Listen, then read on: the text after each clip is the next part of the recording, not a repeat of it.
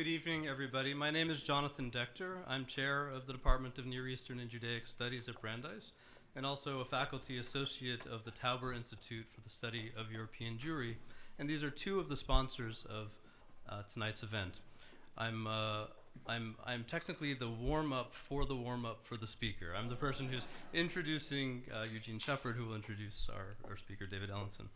Um, but I'm, I'm, pleased to welcome you on behalf of the department and on behalf of the Tauber Institute um, to this evening's uh, lecture, the 52nd annual Ravidov uh, Shimon Rawidowicz Lecture. Um, the Rawidowicz Lecture series began in 1964.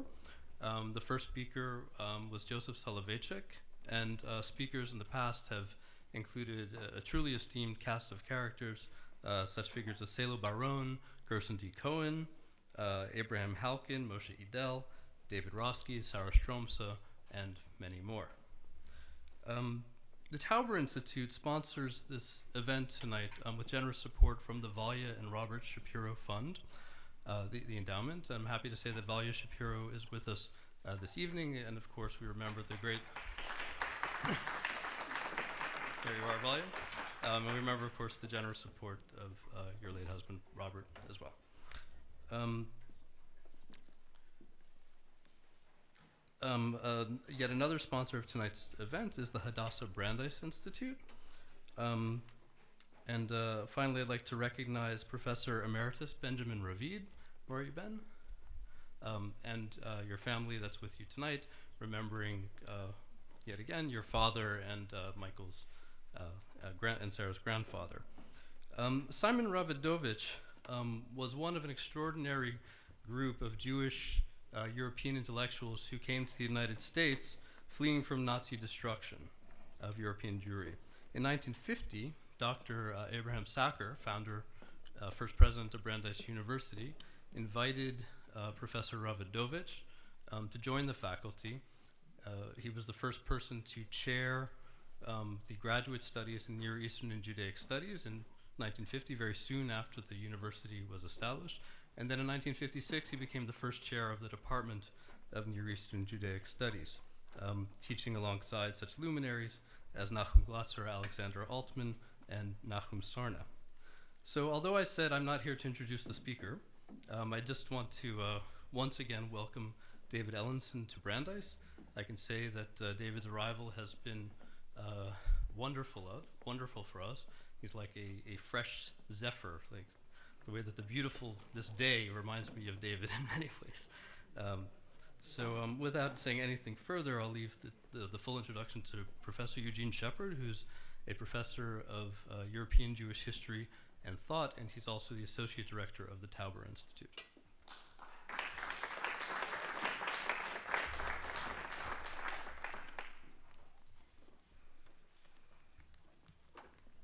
Thank you, Jonathan. Welcome, everybody. Um, it's my special honor for me to introduce uh, David Ellenson, Rabbi Umori, who will deliver the 52nd annual Simon Rawidowicz Lecture. He is director of the Schusterman Center for Israeli Study, Israel Studies and visiting professor in the Department of Near Eastern Judaic Studies here at Brandeis.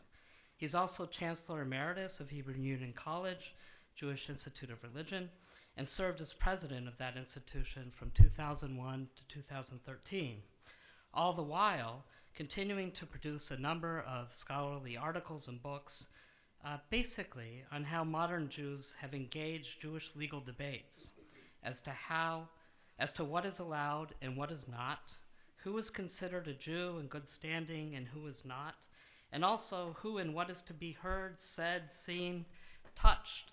Um, in different contexts. His most recent book is Jewish Meaning in a World of Choice Studies in Tradition and Modernity, that appeared in JP, uh, Jewish P Publication Society in 2014. Now, nearly a decade ago, Professor Ellenson helped plan and participate in an international symposium devoted to Simon Rawidowicz called Babylonia and Jerusalem, and it was here at Brandeis.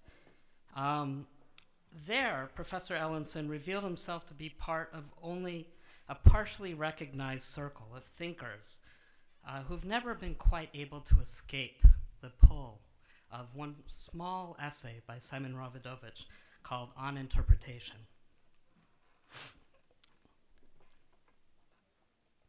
Rawidowicz's bold sketch in that essay drew a systematic understanding of the ever contested horizons of meaning produced over centuries within and also at the outskirts of Jewish thought. What mechanisms and principles characterize and determine the formation of meaning and understanding in Jewish contextual encounters?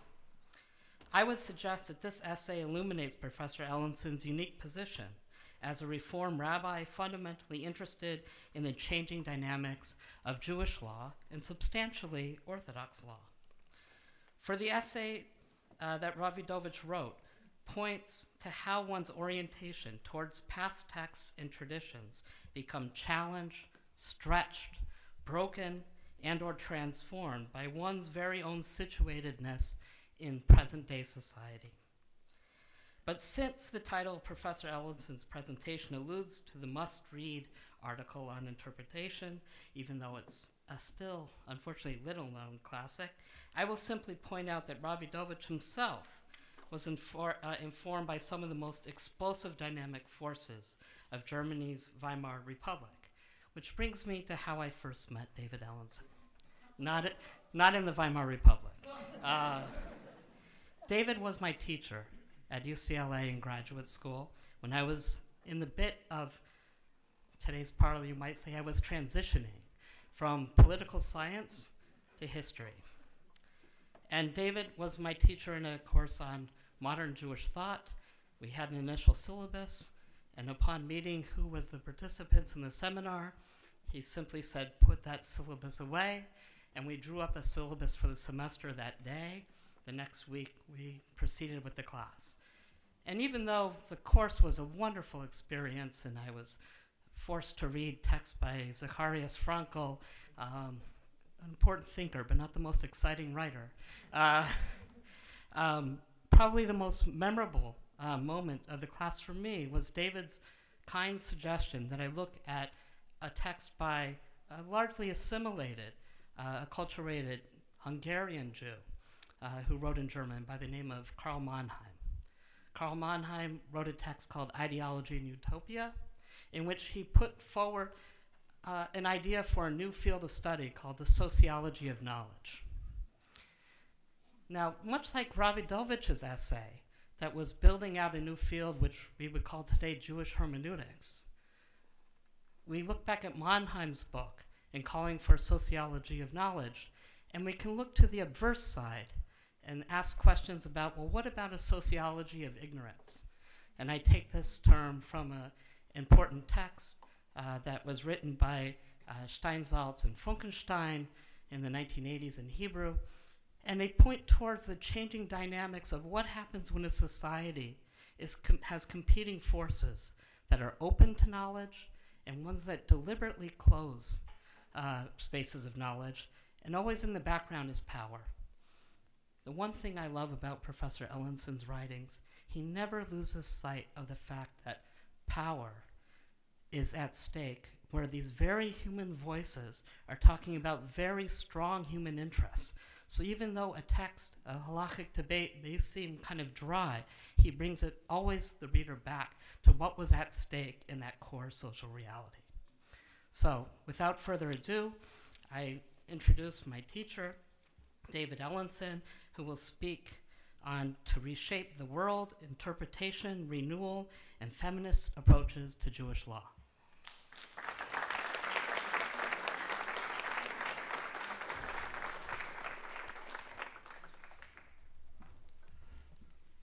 Well, Erev Tov.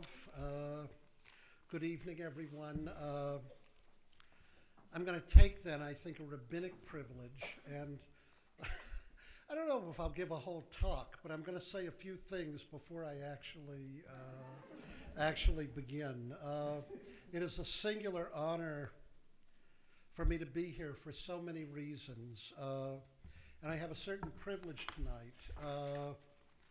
It is true, as Eugene said, I think within Jewish tradition, within the tradition of the academy, the relationship that one has with one's students uh, is enduring in ways that uh, are difficult to really uh, capture. Uh, Eugene is quite correct. When I taught this graduate seminar at UCLA a number of years ago, and I will tell you that Jackie, when I said you were introducing me tonight, said, hope this is okay, said, he's such a cute boy, Eugene. Uh, but I know that you're much, much older now. So, but Jackie has that memory. What can I say?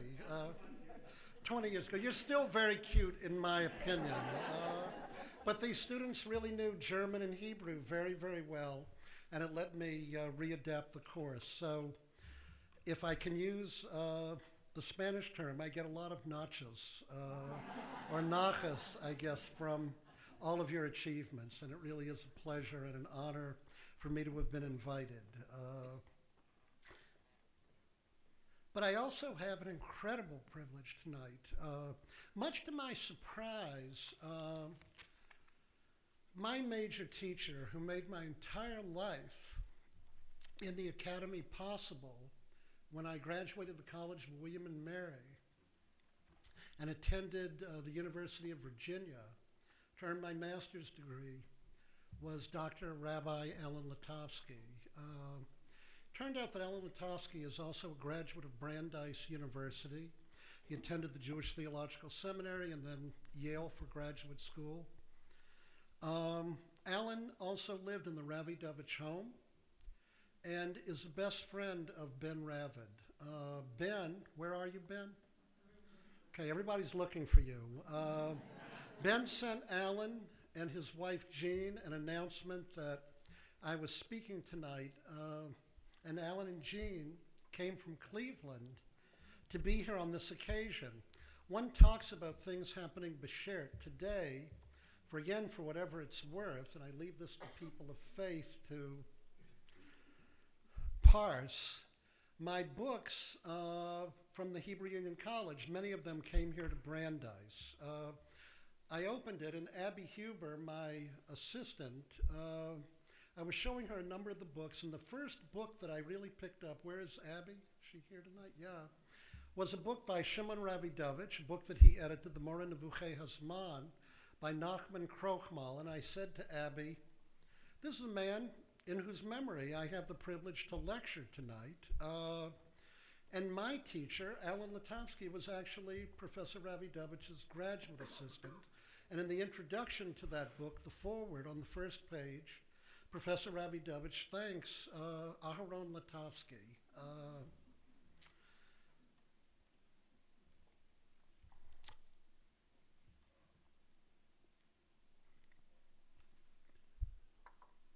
it means more to me than I could ever possibly express that the two of you came.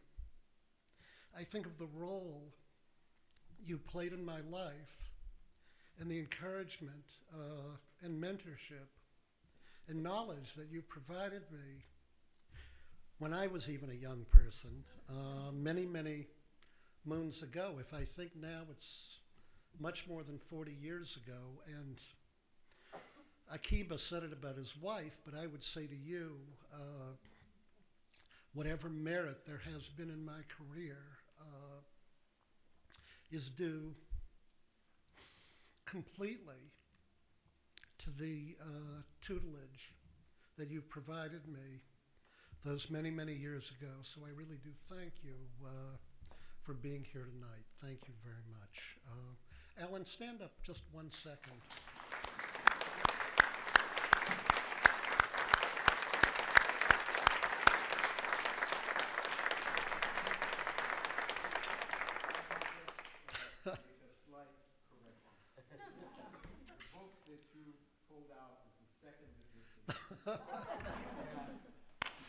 To be with academics, is all I can say. The first edition was published way before I was born. Um, and Ben was um, in Israel uh, working on the corrections for the second edition. I was in New York.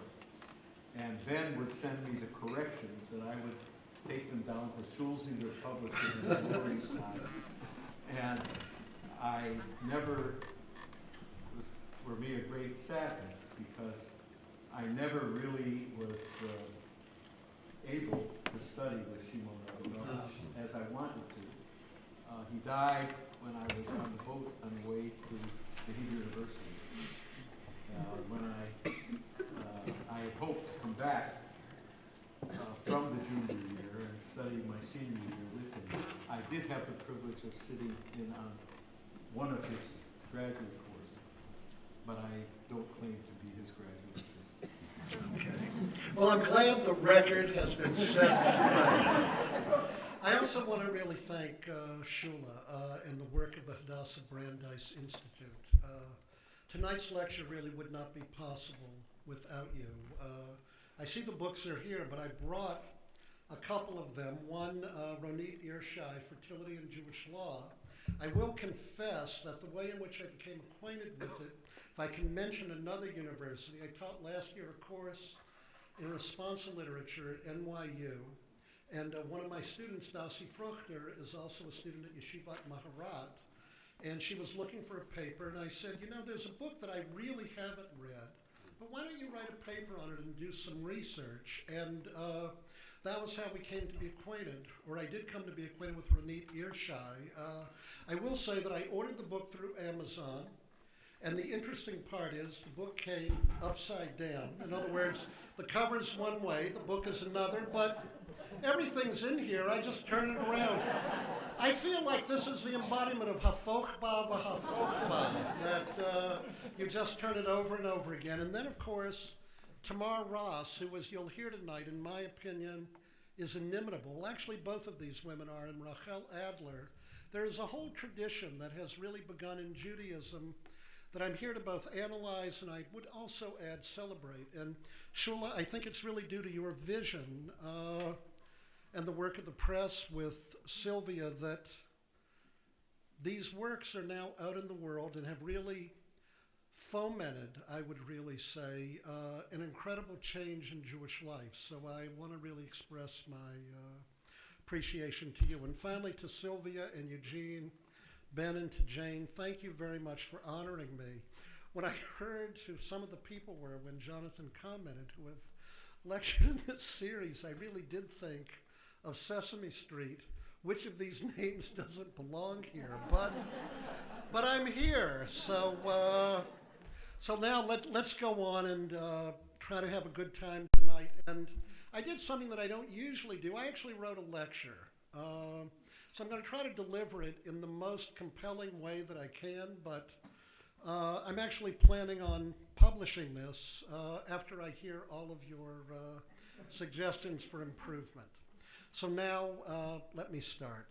Shimon Rawidowicz was arguably the most synthetic Jewish thinker of the 20th century. Indeed, when people always ask me who would I like to be when I grow up, there are always two names, Shimon Rawidowicz and Yaakov Katz, who was my teacher at Columbia and the Hebrew University. Uh, I could say it about Professor Katz, but tonight I'll say it about Professor Rawidowicz. What the Mishnah said of Rabbi Yossi ben Yoezer, that he was an eshkol, ish shakol bo, a cluster, a scholar in whom there was everything, surely applied to Professor Rawidowicz. His mastery of classical Jewish sources, his command of Jewish and general philosophy, his intimate familiarity with Jewish and world history and philosophy were complete. Most impressively, he possessed a synthetic and analytic mind that allowed him to weave the strands of all these disciplines and areas together, and they combined to mark him as an unparalleled scholar and thinker. And his broad ranging works on Jewish history and thought clearly bear the impress of his genius. They allowed him to make original contributions to Jewish thought that remain remarkable in their importance. When I read Professor Rawidowicz, I cannot help but think of the line that President Kennedy employed when he said to all of the American Nobel laureates who were assembled together one evening in the White House that never before had there been a gathering of intellectual genius at one time in the White House comparable to that evening's, with the exception of when Thomas Jefferson dined alone. this is the fact with Professor Rawidowicz, and I don't know the conversations Ben that he had with his children or his grandchildren, but I'm sure he had wonderful conversations with himself. Uh, as his son Ben Ravid, in the introductory essay to Shimon Rawidowicz Selected Essays, observes, one of the crucial insights which enabled Ravi Rawidowicz to develop his theory of the two houses, which I will talk about in a moment, and their subsequent interplay, was his comprehension of the nature of the process of interpretation. By employing on interpretation as a framework and backdrop to explore the writings of Jewish feminist thinkers on halakha, Jewish law and psak, legal rulings, a fuller appreciation of and clarity about this ever growing body of literature and its Jewish authenticity will, I hope, emerge. In Babylon and Jerusalem, which has already been mentioned, Rawidowicz constructed a, typolo- uh, a typology of Jewish history that distinguished what he labeled as Bayit Rishon, the first house, and Bayit Sheni, the second house. The first house, Bayit Rishon, was the Judaism of the Bible when Israel was planted in its own soil. Bayit Sheni, the second house, was the Judaism of the rabbis and the diaspora. Hence, the argument he put forth in On Interpretation is, in a larger sense, his attack on the Israel centrism of Zionism, though this time it is the cultural religious and not the territorial dimensions of that argument that is emphasized. However, that topic is not my focus this evening, and since I'm now at Brandeis as head of the Center for Israel Studies, I may never get to that topic. Rather, I'd center my observations on the fact that throughout his classical essay on interpretation, Rawidowicz points out there's a double layered phenomenon in Judaism text on the one hand and commentary on the other. As he states, paraphrasing Bereshit, the Bible, Bereshit bara Yisrael, Bereshit bara Yisrael, which he translates as, in the beginning, Israel created the text. During the biblical era, the period that Rawidowicz labels the time of Bayit Rishon, the first house, Israel was said to be creative and original. In contrast, Israel, as it moved into the diaspora during the period of Bayit Sheni, became confined to commentary. He notes that some claim that what the prophets and the seers have done in Bayit Rishon was innovative and vital, while the Anshe Halachav Agadah Bayit Sheni, the men of Halacha and Agadah in the second house, had done nothing more than continue that which was created and originated during the earlier period. In the Bible, Israel was creative.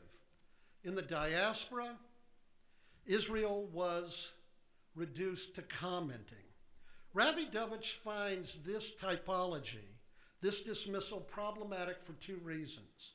One, this position bars the way for understanding the dynamic nature of meaning of interpretation as he maintains all interpretation is, of course, creation. Like Gadamer, Rawidowicz claims that the hermeneutical task in a written tradition is unending. The horizon of possible interpretation is open ended, and inescapably, inescapably, interpretation involves inventiveness and imagination. The moment we begin to conceptualize our sensory data while applying certain laws and forms to them, we are already involved in a process of what he labels in the Latin interpretatio. In short, interpretation cannot escape thinking or judgment. The nature of what it means to be a person is to be a homo interpres. Man is, as he phrases it, an interpretator. The work of the second house is interpretation of the highest order. Creativity and interpretation are interwoven, and the Perush, the interpretation, has equal validity in Judaism, Rawidowicz writes, with the original text.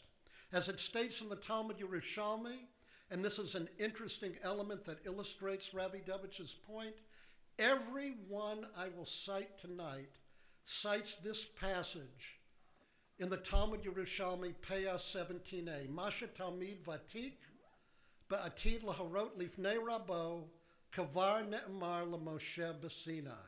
Even that which a veteran rabbi will one day recite before his rabbi, it was already stated by God to Moses at Sinai. Some people will assert this means there can be no change ever.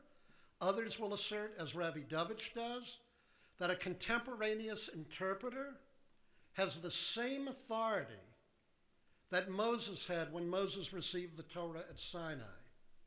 Rawidowicz then goes on to inf- define interpretatio. And he says that what interpretation does, it reshapes either the document or the world it came from. It either reshapes the document or the world it came from. In a few moments, we're going to pay attention to Rachel Adler, Tamar Ross, and Ronit Irshai. And if anyone has ever reshaped the world, it is these women.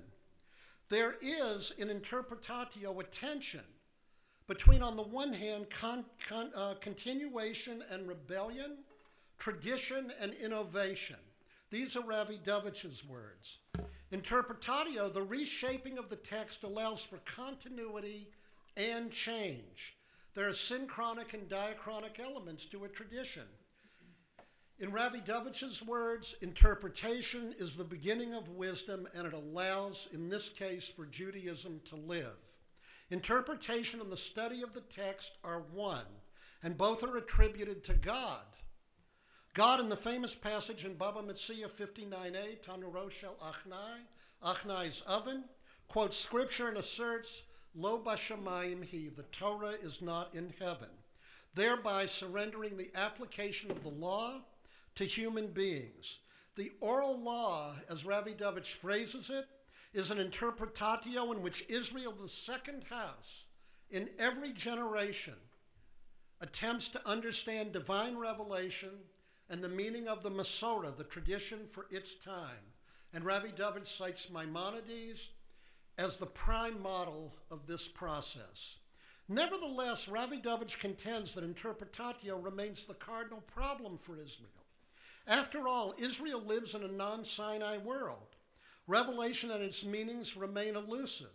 Yet Israel cannot live without the interpretatio of the text that extend back to Sinai. It is what roots our people and gives the Jewish people its identity. Rawidowicz maintains that interpret or perish, interpret or perish, is the voice that Israel has heard incessantly throughout the millennia. Jewish living and learning rise and fall with interpretation. In our days, no persons have heeded the command of interpret or perish more acutely or sensitively than a whole host of Jewish feminist thinkers. Judith Plaskow, Susannah Heschel, Judith Hauptman, Ellen Umansky, Tova Halbertal, whose book also was published by Brandeis, and Marcia Falk have been among the leading feminist liturgists and theologians in North America for more than three decades, and, echo- and echoes of their work have been heard in Israel and throughout the world. Indeed, the number of women and men engaged in feminist interpretations and reinterpretations of Jewish tradition are almost too numerous to number. However, three names surely stand out as the foremost theoreticians and thinkers in the field of feminist thought and its relation to a philosophy of Jewish law, halacha, in general, and psak, legal adjudication in particular. Those three people are Rachel Adler, Tamar Ross, and Ronit Irshai. And while I'm not going to discuss this in the lecture, except that I am now, so this is a postmodernist turn, uh, it is interesting. We'll get to some of the critiques of Ross. And one of the points that she makes, and of course, this is standard in these sorts of things, it will shock you to know that there are Orthodox rabbis who say that she's not sufficiently learned in the tradition. This is a pretty standard, I would say, uh, I was going to say observation, but I might even say canard, that's issued in these types of things. But in a very poignant autobiographical moment, she says, The truth is, she said, I do know philosophy better than I know text. Why? Because when I was a young girl, I wasn't allowed to study these texts. Ronit Irshai has none of those problems. You really see the difference in the world. And as my friend Paula Hyman used to observe, the fact that women classically were not allowed access to the text of the oral tradition, which were seen as the foundations of Jewish faith and practice, had tremendous implications, as Eugene pointed out a moment ago, for issues of power in the community. If you say that authority is grounded in the text of the tradition, then only the people who know those texts can speak in an authoritative voice. Hence, the failure for centuries, millennia, to not allow women to study these texts had as a clear implication the fact that women could not participate as public leaders of the Jewish people in Reshut HaRabim, in the public domain. Part of what I find very moving in looking at the works of these three women is that you see in Adler and Ross, who are in their 60s or maybe even 70s, I'm not certain, a poignant description of what it means to them when they first were allowed to study oral law. Irshai, and I say this looking at many of the young women around here, takes it for granted. She knows she has the ability to study text, and she was provided with that opportunity as a much younger woman, in large measure because of the work that these other pioneers did. In any event, these names stand out. These women have attempted to reshape the world of halakha by exposing many of its assumptions and expanding its concerns. There is, to quote Rawidowicz, a tension between continuation and rebellion, tradition and innovation in their work as they seek, through novel interpretations and discussions and arguments with one another and others, to reshape the contours and the substance of Jewish faith and practice in our time. The lecture will now turn to how they have done this, and by turning to their works of interpretation, will indicate what the responses of sectors of the Orthodox world have been to their positions, as well as the counter responses that they have offered. I don't know how to say this nicely. These women have attitude. Uh, they are attacked savagely, and I won't say they respond savagely, but they respond with confidence in a polite voice. In so doing, I hope a fuller appreciation of the creativity and originality that marks their thought will emerge. Let me begin with Rachel Adler. As her 1998 Engendering Judaism, an inclusive theology and ethics, if it had only been a few years later, Shula, you would have had this book too, I'm sure, provides the foundation upon which so much of the writings of Ross and Ishrai, Irshai rest. That is, Ross and Irshai are in active dialogue with the now Reform. She is now a Reform rabbi, Rachel Adler, but she was formerly an Orthodox Rebbitzin. Uh, and they build upon her arguments even as they, as Orthodox women, depart from her positions in what I hope to show are not insignificant ways. Adler, in her powerful 1983 moment essay, I've Had Nothing Yet, So I Can't Take More, great title, indicted rabbinic tradition for making women, quote, a focus of the sacred rather than active participants in its processes. Writing then as an Orthodox woman, this is one of my favorite lines, Adler observed, being a Jewish woman is very much like being Alice at the Hatter's Tea Party. We did not participate in making the rules, nor were we there at the beginning of the party. This is a theme that will be repeated in different ways and with different emphases over and over again in the writing of Adler, Ross, and Irshai. All of them became persons who were going to contribute to a revolution in the Jewish world by paying systematic attention to gender as both an analytic and normative category for understanding but also redirecting Jewish conversations about Jewish law and legal rulings. Adler gave mature expression to her thought in engendering Judaism. In this work, Adler insisted, unlike other Jewish feminists, that halacha must serve as a source for her own reflections on Judaism. The liberal Jewish feminist Jewish Judith Plaskow had questioned whether a system based on law could be harmonized with a feminist emphasis on relationship. Adler had no such ambivalence. While she recognized that traditional Jewish law had systematically excluded the voice of women, Adler contended that the halakha was too central an idiom in the Jewish experience, too vital a part of the Jewish narrative, to be rejected summarily. As Adler wrote, we Jewish feminists urgently need to reclaim this term halakha because it is the authentic Jewish language for articulating the system of obligations that constitute the content of the covenant. Furthermore, any authentic modern Jewish theology has to account for the norms and praxis of Judaism. However, Adler was too critical of feminists to allow classical notions of Jewish law to remain unchallenged. And she argued that a feminist approach to law would create a transformed Jewish law, a transformed halakha. While sympathetic to the efforts made by non Orthodox rabbis and scholars, like Joel Roth, Elliot Dorff, Moshe Zemer, Mark Washofsky, all of these people attempted to offer, in quotes, liberal co- correctives to traditional understandings of the halachic system and process. Adler nevertheless found their efforts flawed, and she insisted upon a completely different theoretical approach to the question of Jewish law than that found in the work of these other liberal Jews. To construct this novel approach to Jewish law, Adler utilized, as Irshai will utilize, the work of the Yale University law professor, undoubtedly known to many of you, Professor Robert Cover. Covered in 1983 article in the Harvard Law Review would argue that law itself functioned in two modes. One he labeled imperialistic, and the other juris generative. Juris generative. And I'll be talking about that a fair amount tonight. The former approach, the imperialistic approach, is marked by an emphasis upon authority, and it is the application and enforcement of rules. Adler held that this was the manner in which virtually all previous theorists of Jewish law, even liberal ones, had approached halakha. However, Adler embraced the latter mode of jurisgenesis that Cover had adumbrated as a more promising pathway for her own enterprise.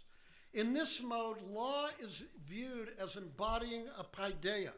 A paideia represents the highest ideal of the community, and it is embedded in a master narrative of the community, and the ongoing enactment of legislation and the rendering of judgments attempt to give this ideal ever more exact and just application over time. Adler asserts using Cover's framework, so called non halachic groups are more properly identified as incipient Paideia communities attempting to establish differing nomic visions. Using Cover's framework, so called non halachic groups are more properly identified as incipient Paideia communities attempting to establish differing nomic visions. The norms they establish for living out the implications of the poems and the stories they create will be a halakha. Juris Genesis, as she sees it, means that there are richer and more vital worlds that could be, that traditions contain within themselves the seeds for their own overthrow and for the creation, creation of new normative worlds. The fact is, we usually think of law as operating in an imperialistic mode. Here's the rule, you must obey it, and there are authorities to enforce it. But a jurisgenerative notion means that there is a certain paideia, an ideal, freedom, equality, and that what occurs over time is that human beings, through the reapplication and appropriation of new modes of law, attempt to realize the vision inherent in the Paideic story in ever more exact terms so that you can have a belief like we hold these truths to be self evident that all men are created equal. And we know that when those words were recited, women weren't given the vote, blacks were enslaved. So that what would occur is that through the Emancipation Proclamation, through the extension of suffrage to women, the ideas inherent in the Paideic vision come to find more exact concern. Loyalty to a tradition, she writes, does not mean fidelity to a tradition as contemporaneously constituted. While Adler concedes that norms do have authority, and this is very important, so do people. people, community has authority. Adler thus employs the Yiddish folk tale of Skotsl to symbolize the kind of work called for by a feminist hermeneutic, a feminist approach to Jewish law. She writes, Women, Skotsl, embodying women, representing women, must bring revelations to heaven, disclosing stories that are unknown to the tradition, the stories of its female claimants. Moreover, she must tell the tradition its own stories in a new way. She must draw meanings that contest the tradition's legal meanings and thereby make the law her accomplice in its own destabilization. The task of the legist or the judge or the rabbi is one that calls for the construction, to quote cover, of a bridge to a better world. Juris Genesis defines law as the construction of law as a bridge to a better world. In engendering Judaism, Adler selected the issue of marriage as a means to illustrate the nature of her overarching approach to Judaism. She noted that classical halakha employs the metaphor of kinyan, acquisition, to grant religious sanction to the relationship that is created between a man and woman when they marry. Adler condemned this metaphor as inappropriate for two principal reasons. First, in the traditional marriage ceremony, it is the husband who acquires the wife. This she found offensive to her egalitarian sensibilities. But more significantly, Adler maintained that a metaphor of acquisition fails to express love. It fails to express the feelings of reciprocity and concern that more properly characterizes the bonds that obtain between two people who wish to sanctify their devotion to one another as permanent partners. The metaphor of acquisition, leaving aside even its legal implications, is simply for her a dead and inappropriate metaphor to characterize what it is that occurs between two people when they love one another and want to sanctify their relationship in a permanent way. Tamar Ross, writing on Adler, as she notes, Adler employs traditional metaphors then of covenant and she relies on partnership law as being more appropriate to Kiddushin than property law. So part of what I want you to see here is that what Adler does, she does explore the tradition, but she explores and employs the tradition and its metaphors and its images in ways, quite frankly, that male halachists had never done. Had never done. So, of course, what does occur in some of these conversations is that Adler and people like her and like Ross are then told that what they're engaged in is not only illegitimate, but I suppose even worse, ignorant. I mean, I won't go through this tonight, but if you read some of these Orthodox journals like uh, Bechol Derachecha Da'ehu, in all of your ways know him. This is uh, an Orthodox journal from Israel. There are 40 pages in one article of all the mistakes Ross makes in her work. If you actually have the patience to read them all, there probably are a couple that, in quotes, are mistakes. They could have even been misquoted. Anybody who's written a book probably has an error or two. I'm not sure they're as damning as her critics say they are, but we'll get to that in a moment. By turning to the notion of covenant and partnership, Adler was able to argue that these ideals provide a more fitting metaphor for the relationship of mutuality and love that exists between two people than the contractual elements that mark property law. Drawing upon diverse examples of covenantal commitment and care found throughout the tradition, Adler composed a document that she entitled a Brit Ahuvim, a lover's covenant, that could be used by both heterosexual and homosexual couples to celebrate and consecrate their enduring connections.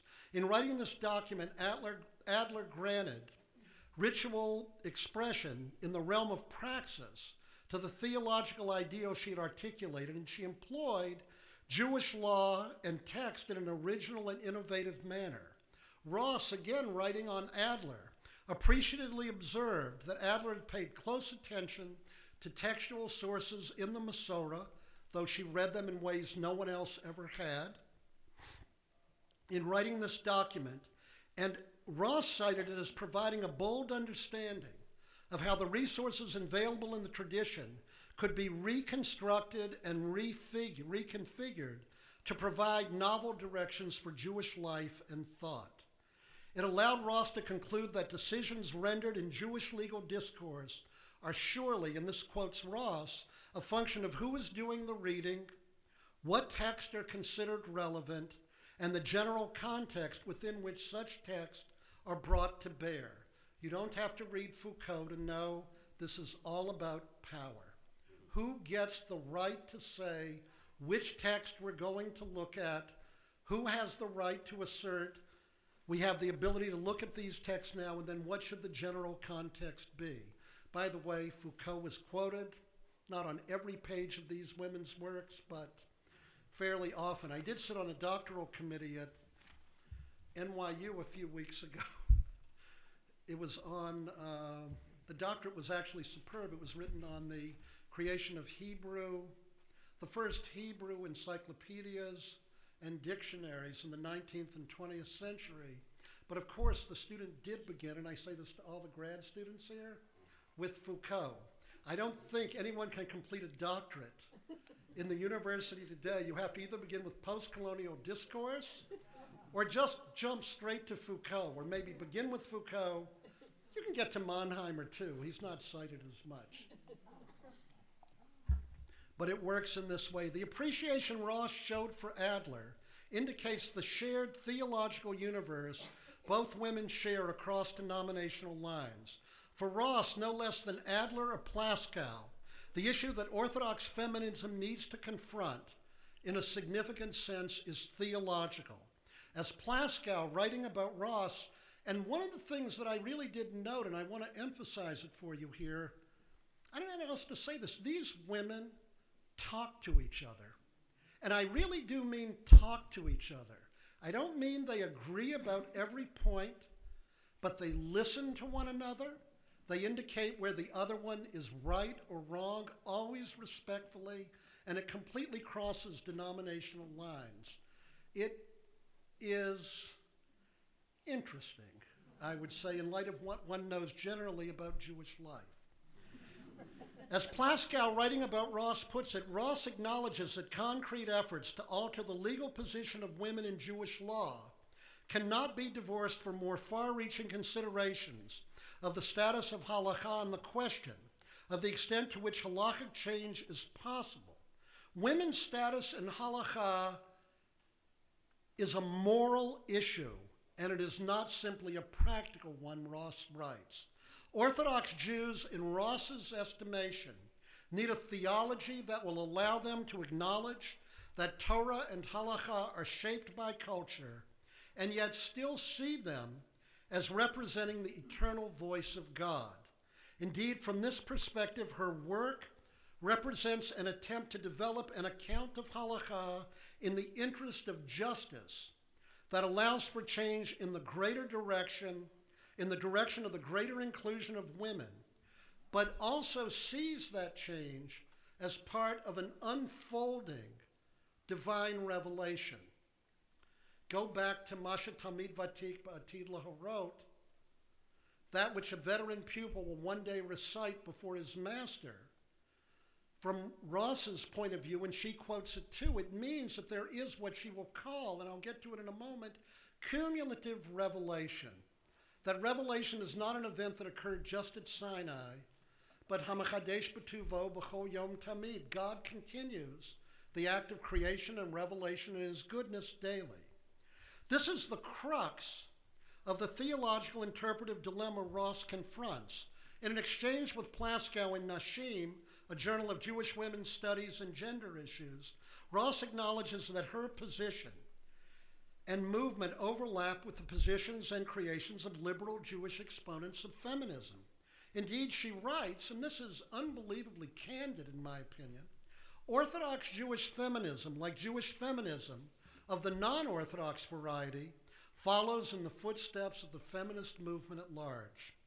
Like its predecessor, Orthodox feminism begins with acknowledging the problem of women's subordination and continues by struggling to achieve equality as defined by male standards.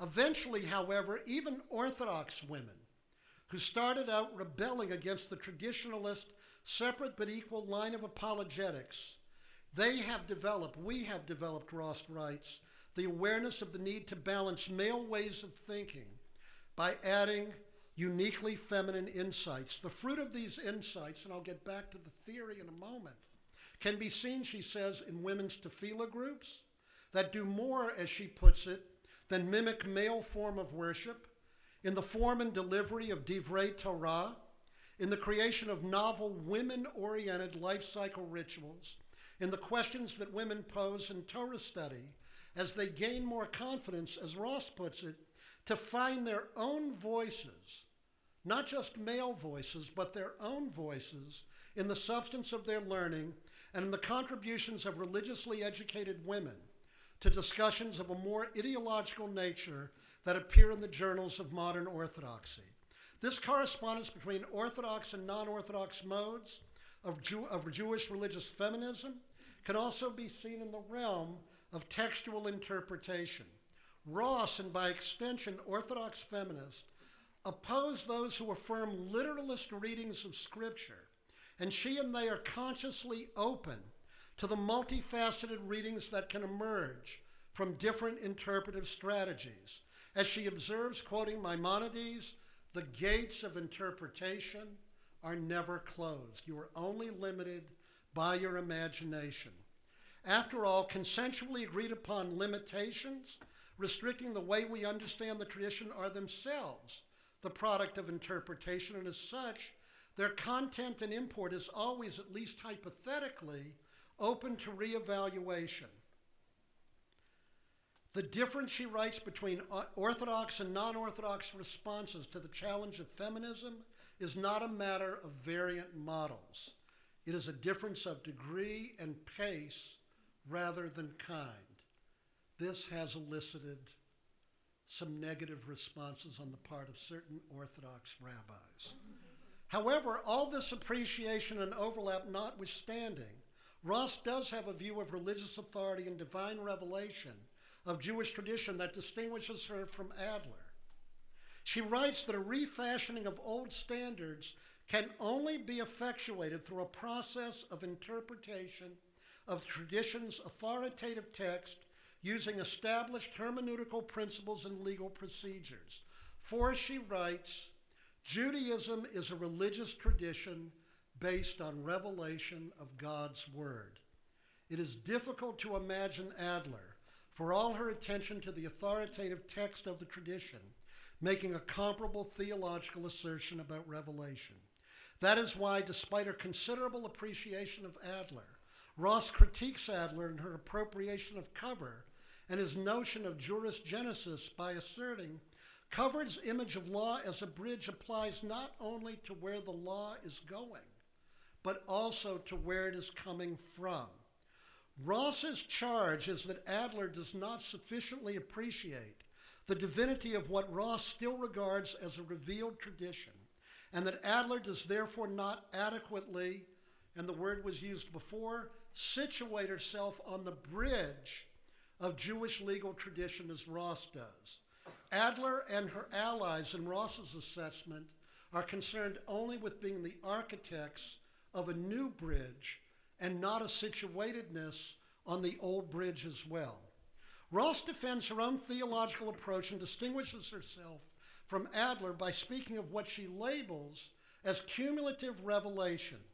She insists that the doctrine of cumulative revelation is fully consonant with the tenets of Orthodox Judaism. And she asserts Jewish tradition provides precedence for a view of divine revelation that can assimilate feminist exposure of a pervasive male bias in Scripture without resorting to untenable conceptions of God and his method of communication. Ross does this by delineating three assumptions which she claims are extant in halakhic tradition that enable belief that the Torah is divinely revealed without denying human involvement. The Torah is divinely revealed even as there is human involvement. The first assumption is that the Torah is a cumulative process And Torah is a series, therefore, of ongoing hearings of the voice at Sinai throughout Jewish history. She asserts that this view is well rooted in Jewish tradition, and she cites the Shla, Rabbi Isaiah Horovitz, author of Shnei Luchot Habrit, when he writes, We find God gave the Torah and continues to give the Torah every moment. The second assumption holds God's word is heard through rabbinical interpretation of text and through the mouthpiece of history. History and what happens to the Jewish people is essentially another form of ongoing revelation. Finally, Ross, as an Orthodox Jew, asserts the original message is never replaced. Ross then goes on to fault, and these are her words, the selective reading of present day orthodoxy, which prefers to ignore all those midrashic sources that speak, for example, of the role of Moshe Rabbeinu's active input, and that, by the way, of the daughters of Zelophehad, that they had in transmitting the word of God, and instead they single out only those sources that portray Moses as an unthinking stenographer, passively transcribing the divine message. Classical halacha, particularly in Eastern European yeshivot, does present this notion that all of the Torah was revealed at a single moment to God by God to Moses at Sinai. In the Orthodox shul I belonged to as a boy, it was not uncommon to recite these words before reading a text. Reshis kol, well, Reshit kol, tzarich da'at, shekola Torah kula, bein shebichtav, bein sheba'al peh, nitna me'akadosh baruch hu atzmo, al yedei Moshe Rabbeinu alava shalom bahar Sinai. Iyafshar l'shanot, afilu kotz echad.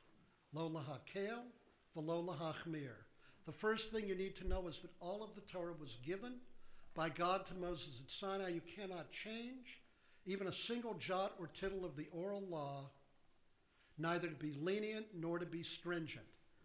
This type of exposition, and this isn't the time for it tonight, is a result, I would contend, if I were teaching another course, of modern Jewish denominationalism. In other words, once Reform and conservative Judaism arose and asserted that Judaism was not only in but of history and changed, you began to have in the Ashkenazic world this notion that all of Revelation was fixed once and for all at Sinai. Samson Raphael Hirsch, in his work Chorev, writes the law, both written and oral, was closed with Moses at Sinai.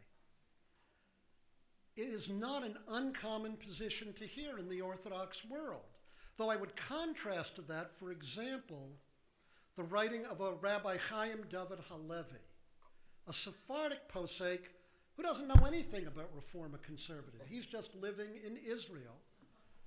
And he witnesses the tradition and he writes, Misha choshev shahalacha hi kafu'ah, ve'en listot mimena yaminu smol to'el uh, ma'od.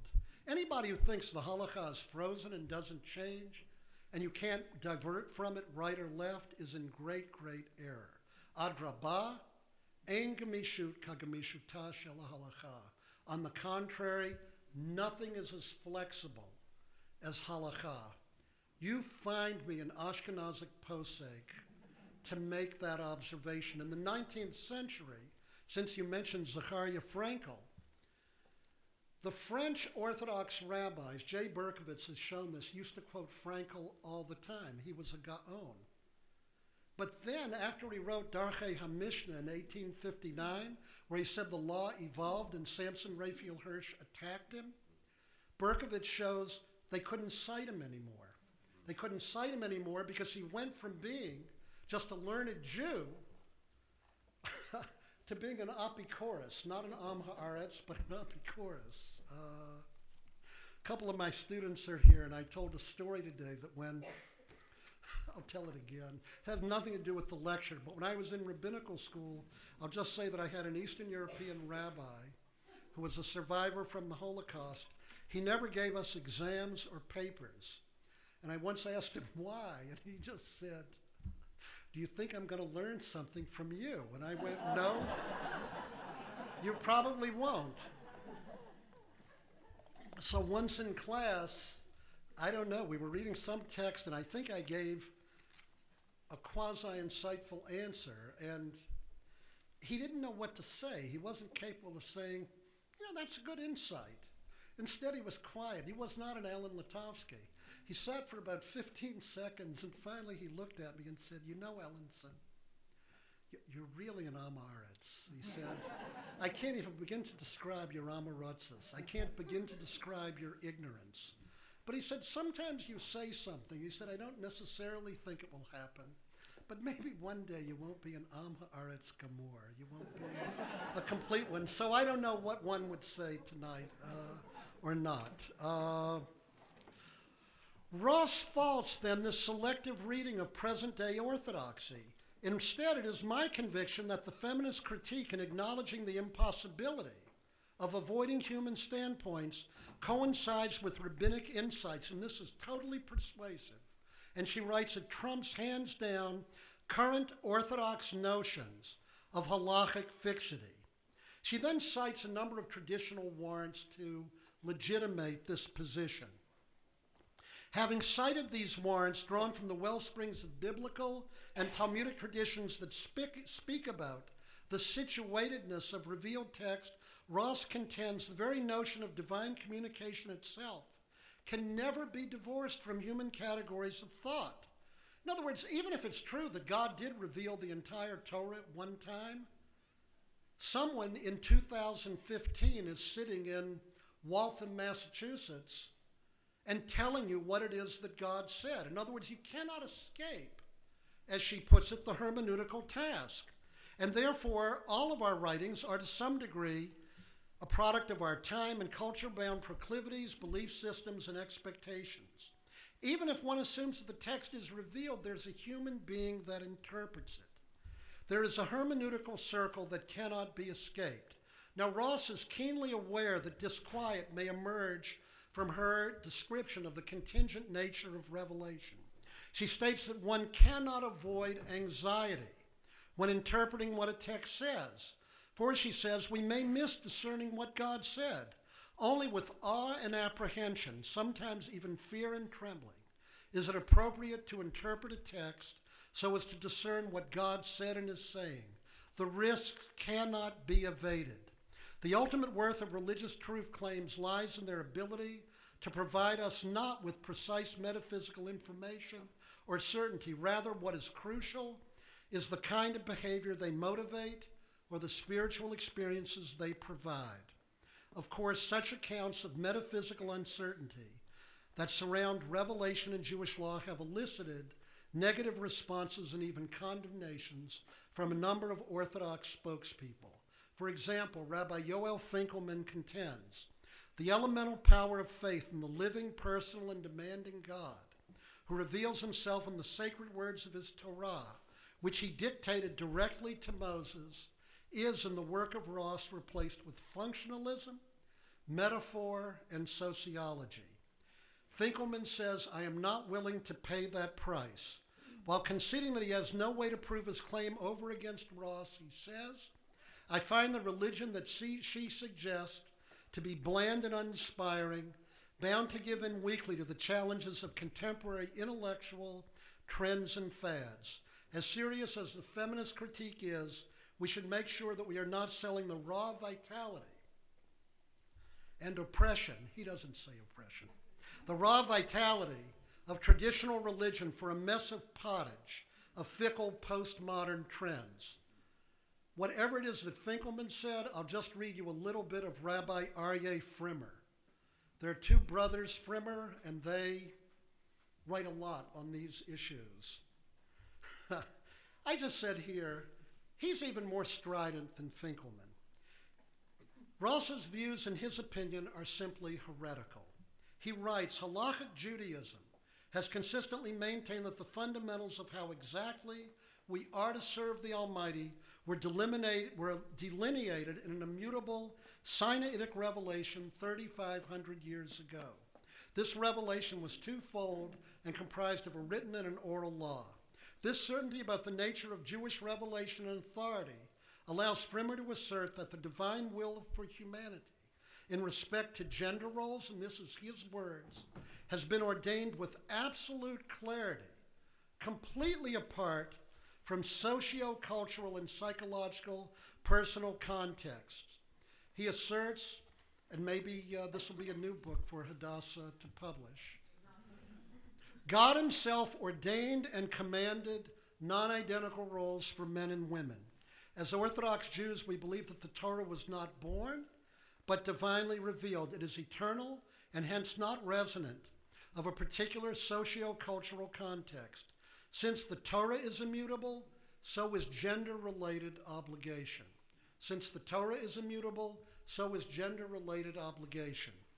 Frimer states that Ross believes that since the Torah was transmitted by males, and I think she does think this, it reveals a male perspective. One might argue that. Had Torah been transmitted by women, it would reflect different perspectives. However, he writes, such a position challenges the objectivity and authenticity of the Torah, of the entire Torah in all its aspects, gender related or not. Ross's cumulativism, he writes, cannot be accepted by an Orthodox Jew who accepts Torah Sinai and the immutability of Torah. She has placed herself beyond the pale of orthodoxy and traditional Torah Judaism. Halacha, he writes, remains non, this is his word, F L U X I O N A L. It cannot be in flux. I don't know the word fluxional, but it sounds good. Ross simply disagrees, and she will not bow to such criticism. She observes the decisions of poskim, decisors regarding when to employ the open playfulness of Midrash Agadah and when to limit themselves only to close reading of text, and their minutiae are themselves judgments that poskim make daily. The context in which both the community and the posek live play a part in the decision that will be rendered. A dynamic and proactive model of halakhic practice that acknowledges the role of context and implicit values in halakhic deliberation can be extracted from an halakhic self understanding that already exists in the sources, and that, she therefore says, is completely compatible with Orthodox Judaism. The path that Ross has hewn is further witnessed in the publications of her student, Ronit Irshai, on Jewish law and feminist legal hermeneutics. Schooled in both classical rabbinic sources and in modern philosophy, Irshai offers a path breaking approach to Jewish legal adjudication. Here we move beyond theology to Psak itself. That really is, I, I do want to say seriously, this is the first such book written by a feminist thinker. You have done, I'm looking at Shula now, an incredibly great favor to all of us by publishing this book and making her thought available now to a wide to a wide-ranging audience. There is really nothing comparable to writing on psak from a feminist standpoint. At the very outset of her book, Irshai unapologetically proclaims Jewish law is the product of an exclusively male preserve. She and Rabbi Frimer do not agree. Though it governs the lives of men and women alike, it has been formulated and interpreted for thousands of years by an all male scholarly elite. While this fact cannot be denied, its implications and consequences can be understood in varied, even contradictory ways. And Irshai then goes on to assert I will tell a different halachic story, one that accounts for the female narrative and its missing perspective.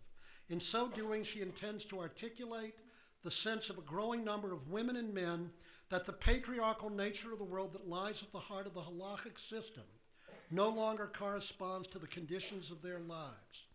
Of course, Irshai acknowledges that those of a conservative bent within orthodoxy, even when they acknowledge that there are subjective proclivities in halachic decision making, will nevertheless insist that halachic decisors act in an objective manner that allows them to rise above their personal and subjective inclinations. Irshai admits that she hopes to move the Jewish community towards a halacha that is more inclusive and egalitarian. She notes that this position is highly controversial within the world of a traditional Orthodox Judaism that insists that halacha is a completely closed system. These persons claim the system is marked only by legal formalism and that the halachic process is unaffected by any consideration of independent values. Indeed, she quotes Rabbi Soloveitchik as writing Halachic decision making, this is Rabbi Joseph Soloveitchik, is untainted by any contingency, subjectivity, or reduction. The halacha has no need to reflect the character of the halachist. It neither changes in circumstances nor historical events, nor do historical events contribute to shaping it.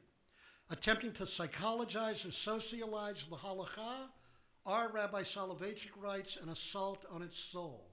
If halachic thought depends on psycho-sociological factors, it loses all objectivity and deteriorates to a level of subjectivity lacking all substance. Irshai, in quoting Rabbi Soloveitchik, simply says, if anyone studies the halacha, Rabbi Soloveitchik's description, these are her words, fails to accurately describe the work of halachic decisors, past or present. What I like about these women, and I use the term uppity, they are really not cowed by authority. In other words, even when Rabbi Soloveitchik makes this statement, she repeats it respectfully, and she just says, in effect, have you studied halacha? I mean, I, I, don't mean that in a uh, in anything like a negative kind of way, but she was saying that is difficult to maintain if you do any kind of study in the processes of halachic decision making. And she also says that feminist criticism has to regard these claims about the complete objectivity of halacha and this legal formalism with, as she puts it, a hermeneutic of suspicion. By the way, Adler uses this term often. Feminists reject the claim of formalism with its conceit of objectivity as a matter of principle, not only because it is inaccurate, but because it is inconsistent with the interest of women. Irshai states this is so for three reasons. First, in the spirit of Carol Gilligan. And that's the other thing I like about these women. They are not afraid, even in halachic conversation. I don't know if I can dare say this, they're not apologetic about quoting even non Jews in making their halachic argument. That, oh, she is, Gilligan is Jewish. Well, we'll get to MacKinnon in a moment. Um, it's just amazing that this is not usually quoted in halachic literature that one would read. In that spirit, she says traditional halakha reflects a distinctively masculine way of thinking that focuses on rules and not relationships. If the latter consideration was primary and halakha embodied more fully the voices and authority of women, then she believes that halachic decision making would look entirely different from halachic decision making by men. Secondly, she writes in the spirit of Catharine MacKinnon's radical feminism, the halakha is structured so as to preserve the existing patriarchal order and to maintain the domination of women by men. Finally, she asserts inspired by the ideas of Robin West. Quite a trinity here, I have to say Gilligan, MacKinnon, and West. If you've read their writings, you wouldn't expect that necessarily reading an Orthodox woman. That's all I'll, uh, that's all I'll say. I'll make a few more comments at the end. Uh, Halakha does not regard female experience as equivalent in value to male experience or as warranting the acceptance of women as equal partners in formulating halakha. At best, female perspectives will be expressed indirectly and filtered through a male lens. Irshai then goes on in her book to explore what this trajectory of male created and dominated halakhic system means by exploring in very great depth and with considerable precision the halakhic corpus of writings from Bible and Talmud through medieval commentaries and codes to modern responsa in my opinion, her knowledge of Jewish rabbinic literature is simply breathtaking. Uh, Ross's knowledge of philosophy is breathtaking. Irshai's knowledge of halacha and Jewish sources, I would put her up against any rabbinic scholar in the world. Dealing with the broad issues of sex and reproduction. The first chapter of her work focuses on the religious mandate to reproduce while the second centers on methods of birth control. The next two chapters deal with issues surrounding abortion. The final two deal with issues of artificial fertilization and artificial insemination, what Irshai labels procreation without sex. Irshai maintains that the lens of gender brings into sharp relief the stance that the overwhelming preponderance of modern rabbinic writings takes in relationship to women and reproduction. While the biblical commandment to reproduce is surely a weighty one, she shows that this commandment, Peru or Vu, by the way, I think all of you know, many of you here, that the obligation to procreate is actually only a male halachic obligation. It says in the beginning of Genesis, Peru or Vu miluat ta'aretz v'kiv shuha, be fruitful and multiply, fill the earth and subdue it, conquer it, keep shuha. And then Rashi, it's one of my favorites, derech ha'ish lichbosh, the way of men is to conquer, derech ha'isha lehikabesh, the way of women is to be conquered. Uh, I share that occasionally with my wife. It doesn't. Uh, never mind, I'll go on. While the biblical commandment to reproduce is surely a weighty one, she shows that it has been qualified in the past in order to accommodate other values in the tradition, in other words, Torah study for men. However, Irshai claims that such weight does not assign the independent personhood of women, because male decisors, she claims, emphasize the reproductive value of a woman at the expense of her value as a person. Thus, in her discussion of the moch, a form of birth control, and other methods of birth control, Irshai argues that even though birth control techniques that entail no halachic violation have been developed, and even though Talmudic sources indicate there is no unending obligation to bear more and more children, she argues that the reality of Orthodox Jewish family life is such that most women will continue to reproduce. This is because most poskim, she claims, generally forbid unlimited access to birth control, even when the question of birth control poses no particularly difficult halachic problem.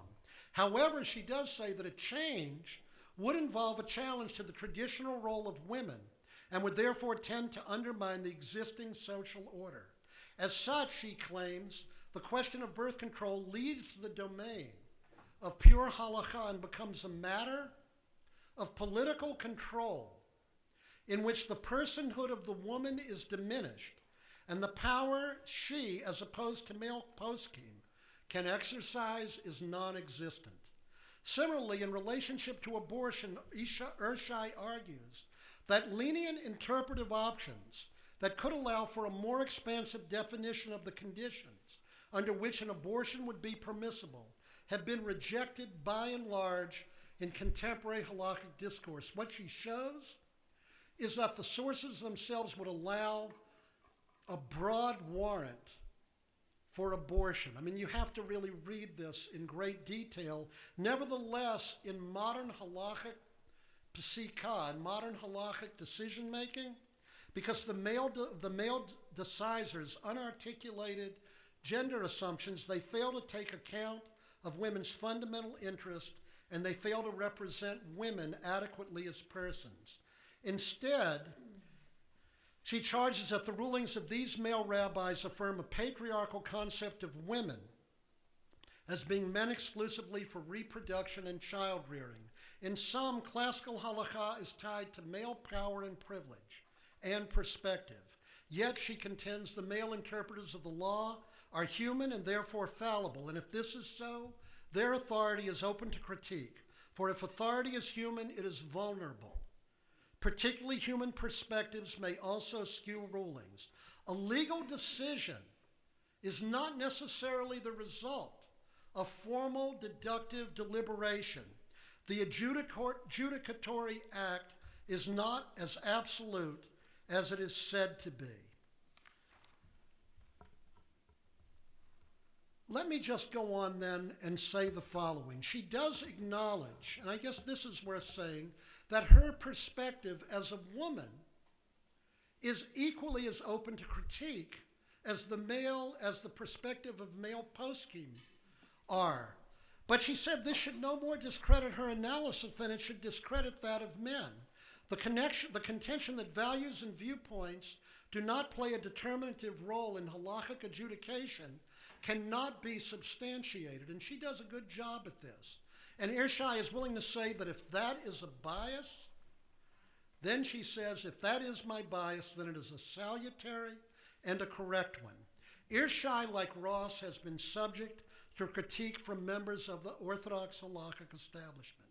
They have been critical of her efforts to affirm this simultaneous commitment to halachic discourse and the values of equality. But the most interesting critique I would say that I read in preparation for this lecture is by Alan Jotkowitz, a member of the medical school faculty at Ben Gurion University. Writing in the pages of Nashim, Jotkowitz displays great respect for Irshai and her work. But looking at her writings on abortion, he claims that Irshai contends that the halachic attitude towards abortion has been influenced by a specific repressive attitude towards women. In particular, for ideological reasons, contemporary halachic authorities have consistently put the fetus's interest ahead of the woman's. However, he asserts this simply is not true. Modern decisors such as Ben Ish Chai, Rabbi Ben Zion, Meir Chai Uziel, Rabbi Eliezer Waldenberg, Rabbi Aharon Lichtenstein have rejected a formalistic approach to halachic decision making regarding abortion because of a specific attitudes towards the role of women. Indeed, Jotkowitz asserts Rabbi Lichtenstein clearly states that the woman's personal situation plays a role in halachic decision making on abortion.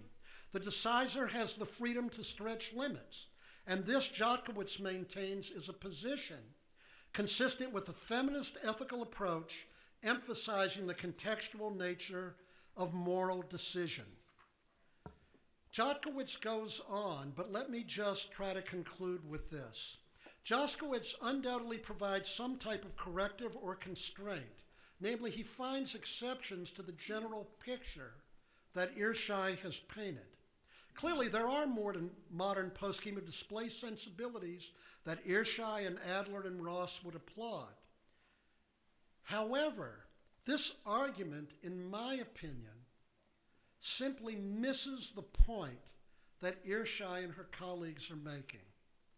Even if the attitudes of some decisors are seemingly consistent with modern feminist thinking regarding the setting of priorities in this highly charged debate, this misses the overarching and powerful thrust that Irshai and her colleagues have been making over and over again about the nature of traditional halachic discourse. For even if halachic reasoning is conceded to be analogical, interpretive, and ineluctably subjective, only half the people expected to adhere to it, men, have been allowed into the process.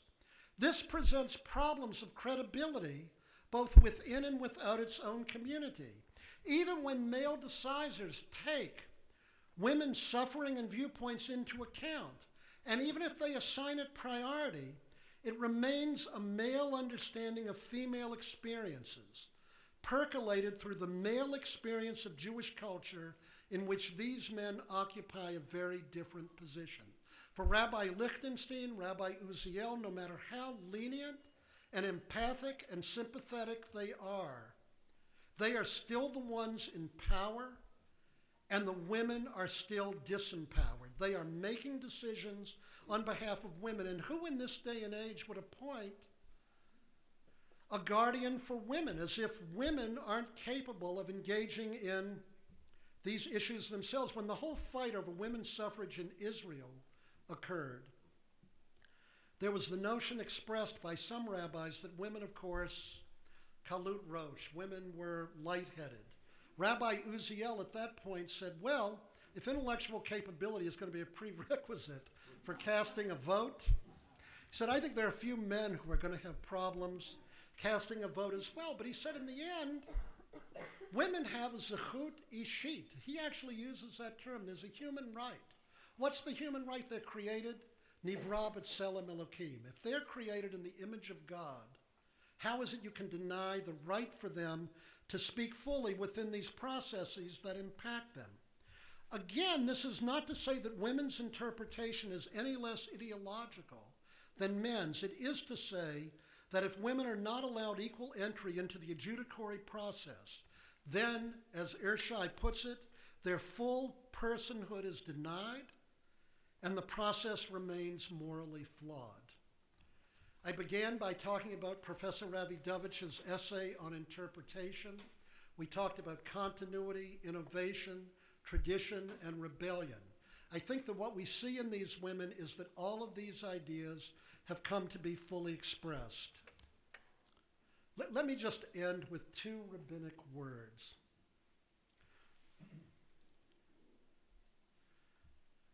What I admire about these women is they take these quotes from Lo Bashamayim He, the Torah is not in heaven. And all one has to do is go to Parshat Nitzavim. Lo Bashamayim He Shayomar Miyaleh Lanu Hashamayma Vayikacheha Lanu. No one has the right to say to you, the Torah is not in heaven. Who's going to go up to heaven and take the Torah down for us? Rather, what the Bible says is, Uh, Karov hadavar elecha ma'od b'ficha la'asuto. The Torah and its teachings are given here to human beings, men and women.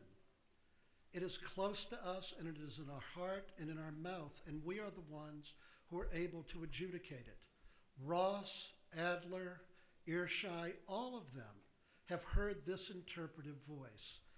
The last story, and I told this story, again in the interest of full disclosure, uh, I wrote the preface to Rachel Adler's book, Engendering Judaism. I don't say this all the time, though I may have a couple people here today that I think this about. Rachel Adler was actually my student. Engendering Judaism was written as a dissertation at USC, ostensibly under my direction. I say ostensibly because she didn't know everything I knew, I will say that, but she's smarter than I was even when I was her teacher. Of that, I had no doubt whatsoever. Uh, she asked me to write uh, the preface to her book. And I'll even add, and I am really proud of this, that uh, she holds the David Ellenson Chair now at Hebrew Union College. So I do feel very close to her in all sorts of ways. And I'll even say she was the bat mitzvah tutor for two of my daughters. It's a pretty good tutor. Uh,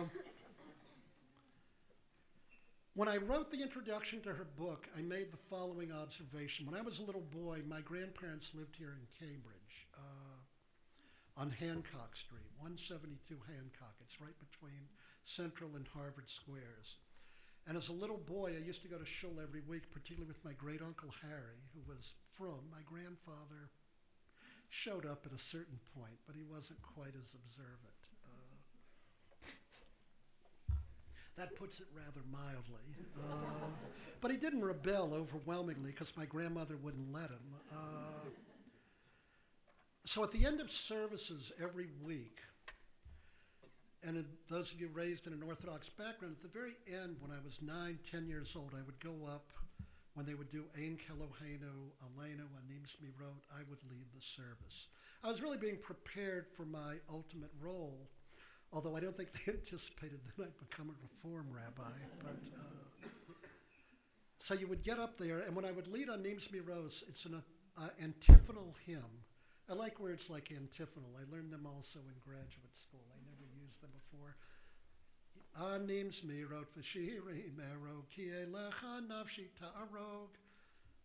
You know, I will, anim smirot, I will sing you pleasant songs and I will weave, weave these songs together. Ki elecha nafshi ta'arog, because my soul desires to cling to you. Uh, and then the congregation will recite the next line. When I would engage in this, I would see my grandmother in the Ezrat Nashim. I think it was the Tremont Street Shul. And I would always see her kind of leaning over, and there would be almost tears in her eyes. And I used to think, well, maybe what the tears in her eyes were really about was that she was just happy. This Jewish tradition that she loved from Eastern Europe was somehow being carried on even here in the United States. But as I read Rachel's book and I began to reflect upon it, I thought other things as well.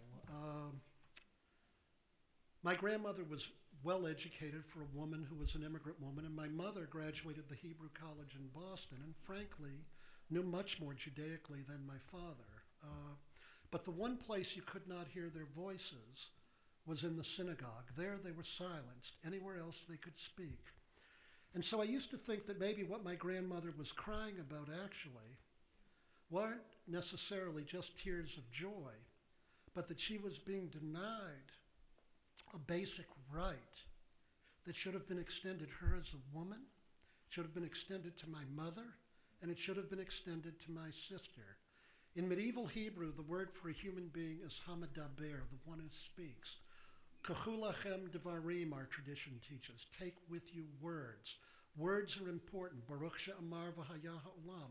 God speaks a word and the world comes to be. If you cannot speak in public, if you cannot speak in public, then your humanity is diminished in a very fundamental way. What these women have done is to indicate that human beings are not in our day, even within the Orthodox world, only Hamadabri, men who speak, Ela Gamkin Hamadabrot, but the women who speak. And for that reason, it's been an honor to give this lecture a little bit longer than I thought, but I think there is good reason to celebrate as we look at these women and the discussions that follow. Thank you very much.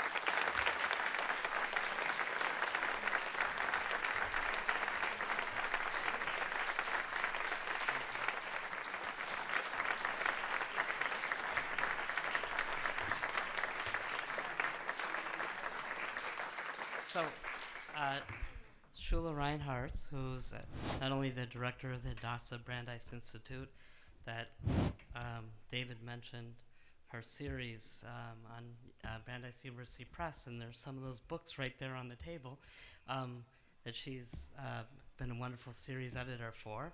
Um, she's going to lead the question and answer uh, period, which, given the subject matter, it's about time a woman take the public uh, role here. So.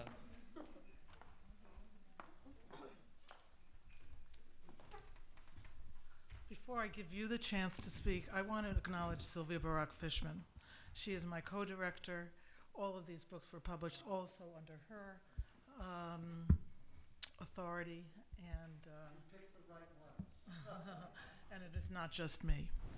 Um, I think that might be a feminist thing to do, and I'm happy to, to work with you, Sylvia.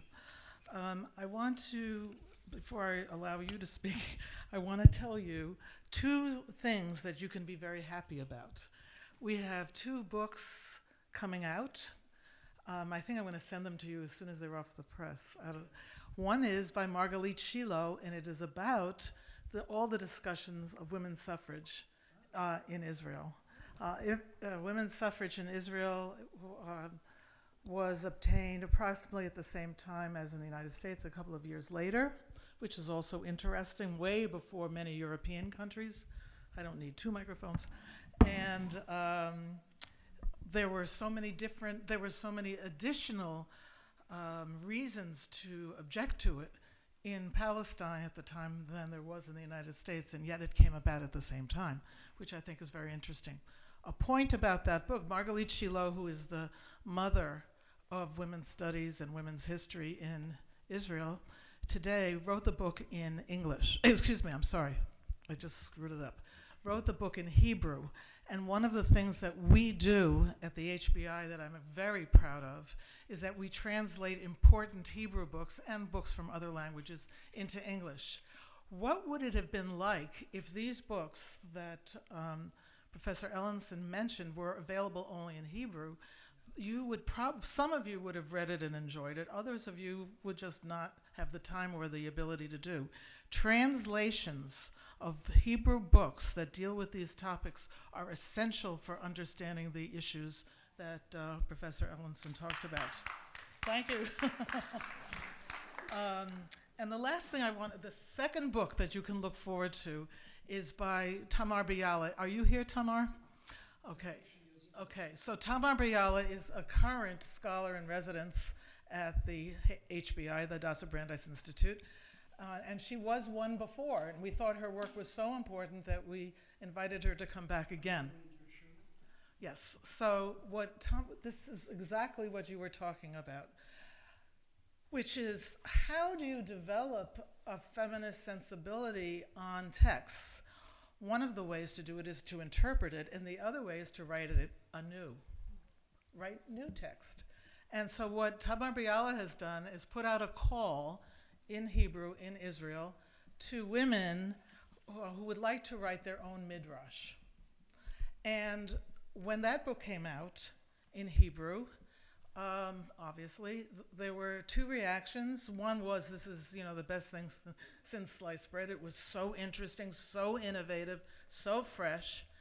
And the other was by certain rabbis who said, "Should anyone give you this book, burn it."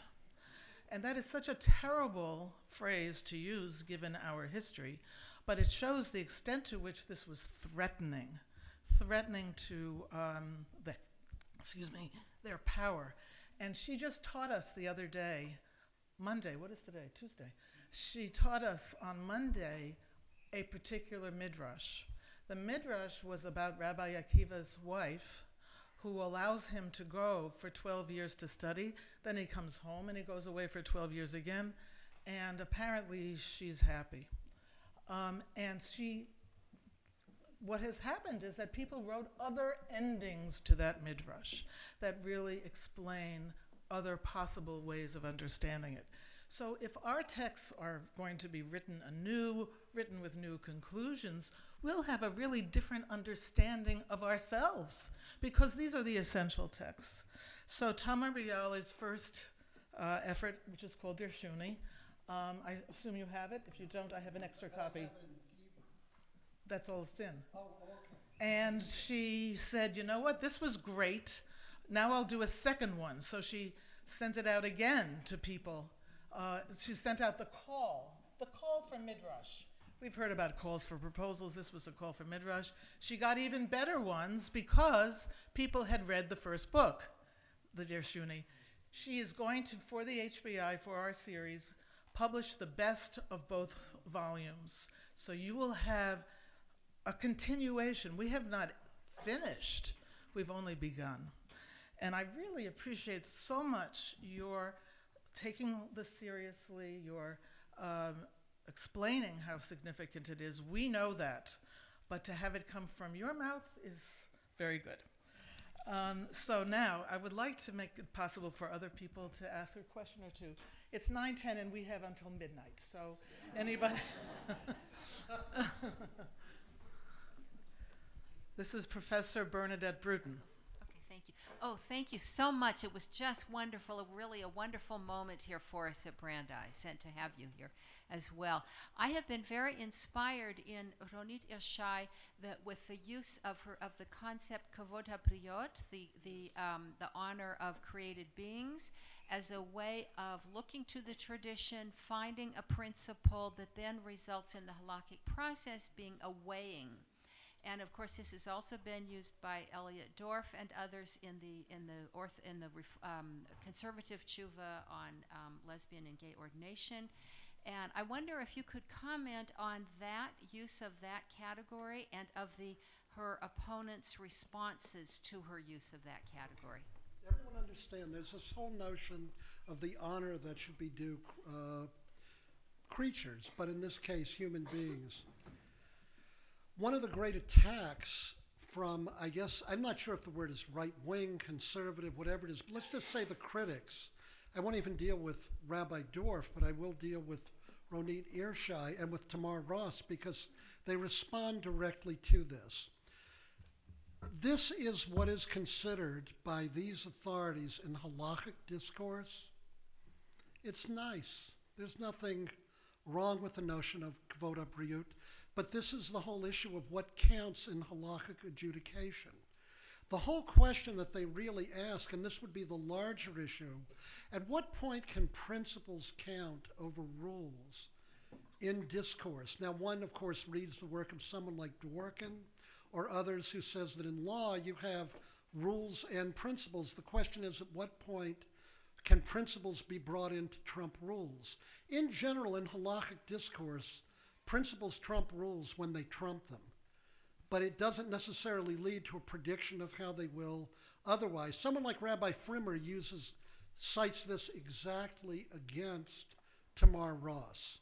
Her posi- his position on this is that these types of midrashic statements have no halachic worth. There is a rabbinic principle, ein meshivin ala drush. To translate it exactly, ein lahashiv, one doesn't answer halachically on the basis of midrash. Midrash is fanciful. It's imaginative, exactly what these women say, but law, rules, are very, very exact. So that when phrases like kavod abriyut, uh, are cited, they're considered like nice, agadic, in quote, statements, but they don't, their, their position is they don't count within halakha. But that only reinforces, in my mind, the point that Irshai and others make, namely the men get to make the decision about, in quotes, what texts count or what texts don't count. And the other issue is here, uh, if one were to look at the phenomenology of pasika, the phenomenology of rulings that are issued, there are places where halacha is taken on the basis of midrashic or eisegetical readings of text it's done really all the time. I mean, one would call it, to cite uh, Robert, uh, not Cover, uh, Robert Cole and others, they represent in quotes what I would call creative misinterpretations of the tradition. That's done over and over again. When I was a student of Professor Katz's at Columbia and we took a class in the reading of Halacha, one of the points that he would make is if you read the Chatam Sofer or David Tzvi Hoffman, he said, let's begin with the assumption they can actually read the text as well as you can. So, what happens if you find that they've misread a text? He would say you need to pay a lot of attention. I think the same thing is true in courses on constitutional law. In other words, if you read someone like Justice Holmes take a principle from the law and read it in a novel kind of way, something significant is probably happening. The reality is that if people have power and authority, they get to determine what principles count and which ones don't. So their response to it, it's so interesting that you brought this up because this is exactly one of the points that Rabbi Frimer makes against Tamar Ross when she cites this kind of principle. For me personally, I find it extremely persuasive.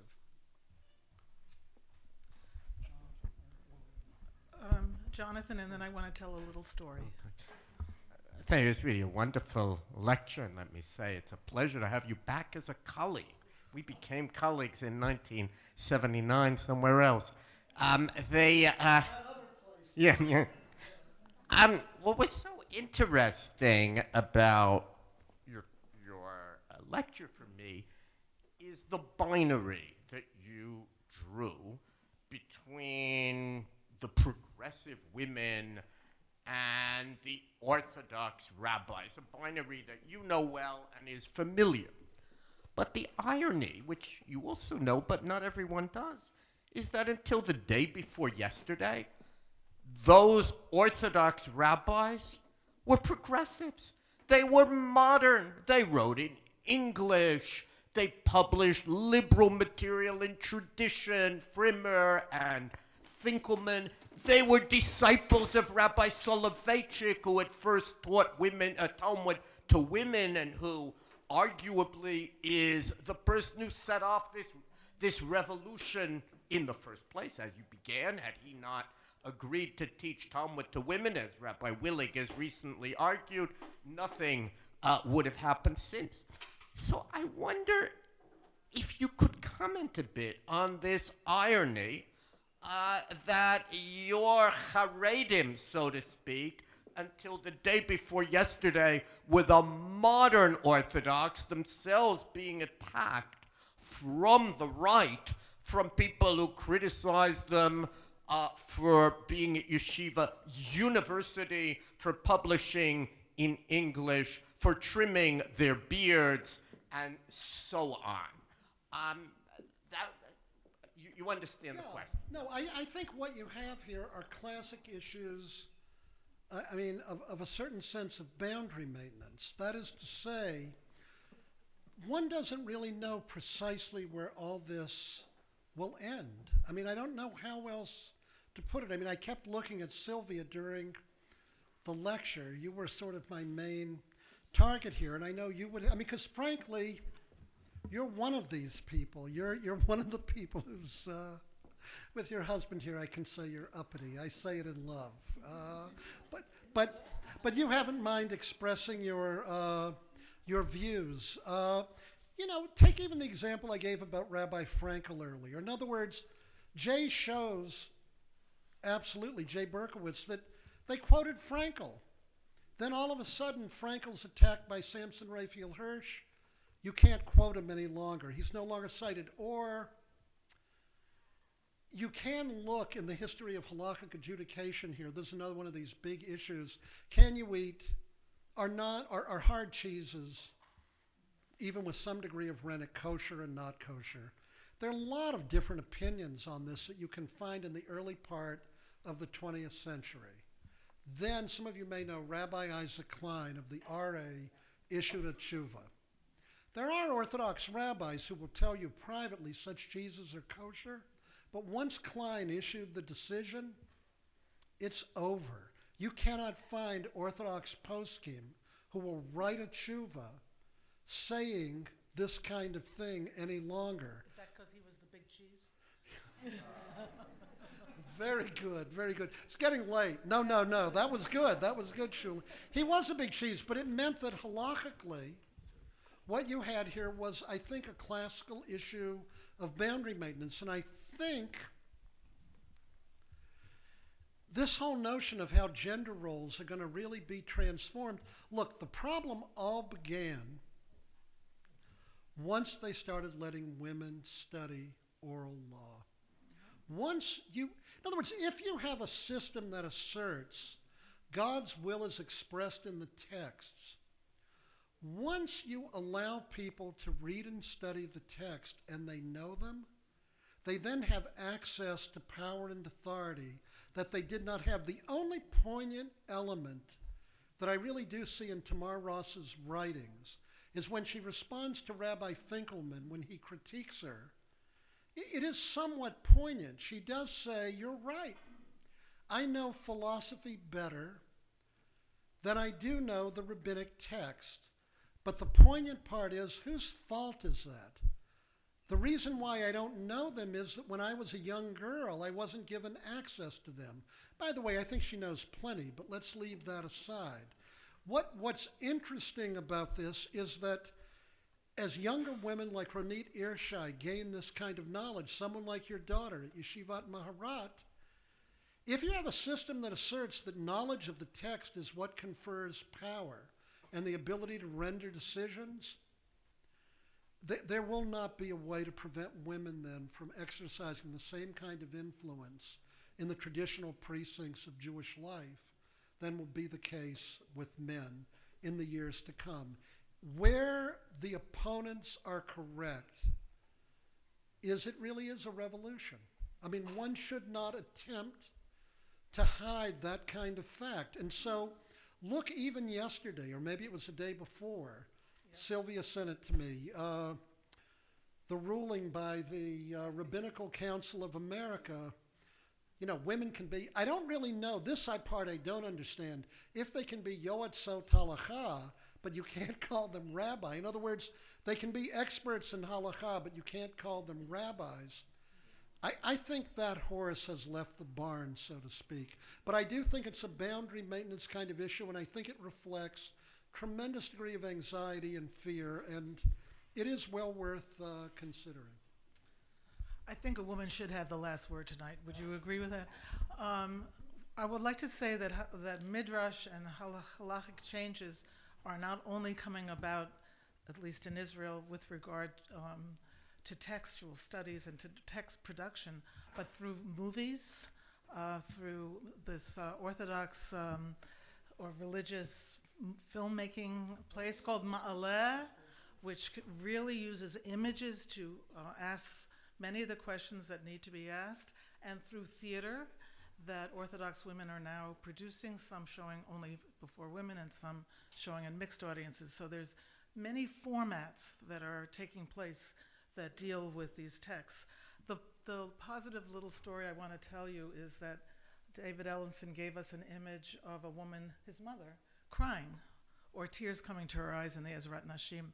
I'd like to tell you briefly about a woman smiling with such joy, and that occurred yesterday as well. We had a board meeting of the HBI, the Hadassah Brandeis Institute, and we have a, a um, tradition of having someone give a Devar Torah before our board meetings. And we ask everyone, everyone gets a turn at some point uh, throughout the years. And we had someone do it yesterday, and she gave a beautiful, and if you can believe it, original interpretation of the Akedah. Just to say that the, the, there is yet something new to be said about the Akedah is kind of amazing. And when she finished, she was glowing.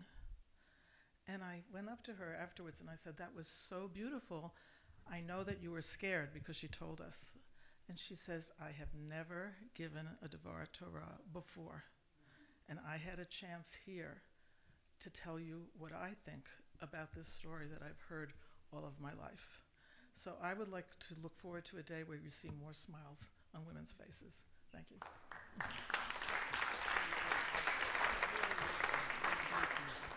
you. Ladies and gentlemen, please join us.